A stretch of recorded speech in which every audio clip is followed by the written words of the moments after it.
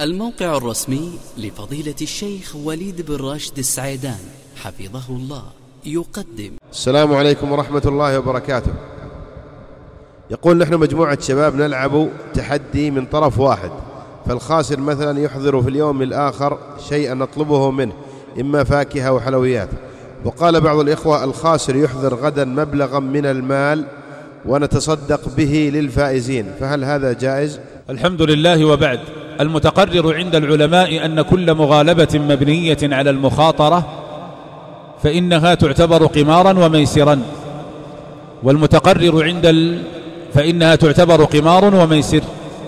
والمتقرر عند العلماء أن الأصل في المسابقات والمغالبات عدم أخذ العوض. إلا بدليل ولم يستثن الدليل إلا ثلاث مسابقات فقط مسابقة الجمال ومسابقة الخيول ومسابقة الرماية.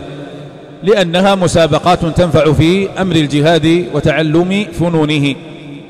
وأما ما عدا هذه المسابقات الثلاث وما يلحق بها فيما هو من معناها فإن أخذ العوض عليها لا يجوز.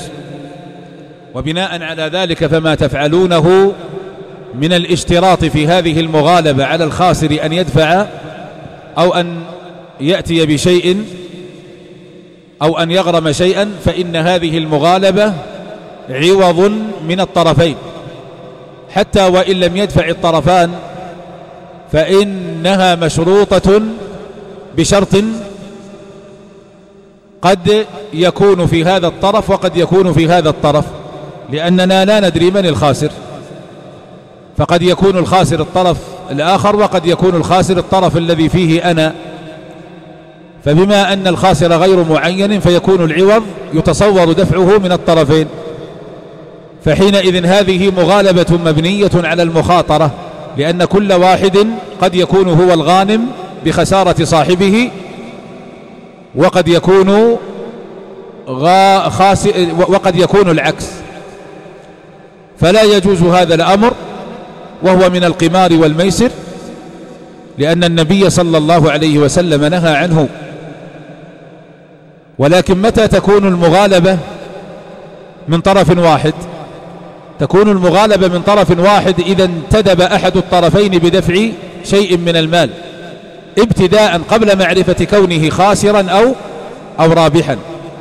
فقال أنا سأدفع ثمن الجائزة فإن فزت أنا فالجائزة لي وإن فزتم أنتم فالجائزة لكم.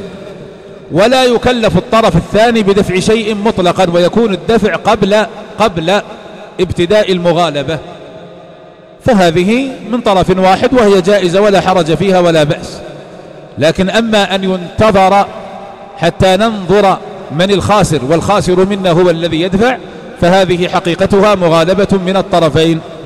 وكل مغالبة من الطرفين فهي قمار وميسر فلا يجوز لكم أن تلعبوا بهذه الصورة. والله أعلم.